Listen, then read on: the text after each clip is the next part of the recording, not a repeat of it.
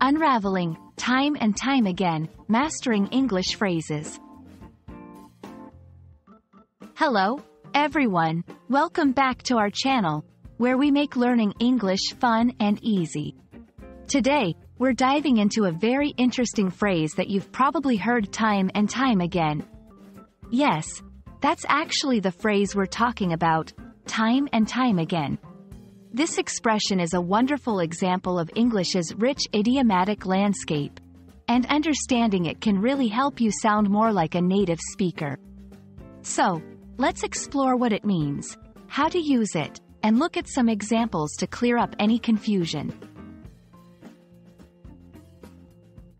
Time and time again is an idiomatic expression used to indicate that something happens repeatedly or very often. When you use this phrase, you're emphasizing that the action or event is not a one-time occurrence but has happened multiple times in the past and is likely to continue happening in the future.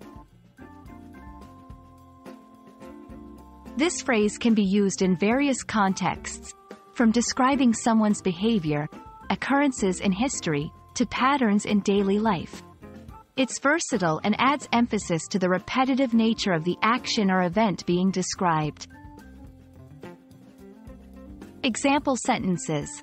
1. He has proven his reliability time and time again, always delivering projects on schedule. 2. This strategy has failed time and time again, yet they keep trying it. 3. Time and time again, she has shown her dedication to volunteering and helping those in need. Notice how in each example, the phrase is used to highlight the consistency and frequency of an action or behavior. Context is key. Make sure the situation you're describing truly involves repetition or frequent occurrence. Emphasis on repetition.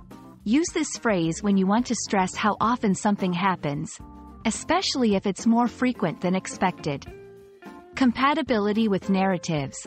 It's great for storytelling or when discussing history, personal experiences, or observed behaviors.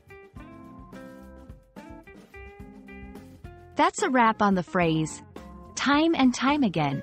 We hope this video has shed some light on its meaning, usage, and the nuances of incorporating it into your English vocabulary. Remember, practicing these phrases in your daily conversations or writing can help solidify your understanding and make your English sound more natural and fluent. Thanks for watching, and we hope to see you time and time again on our channel. Don't forget to like, share, and subscribe for more fun English lessons. Happy learning!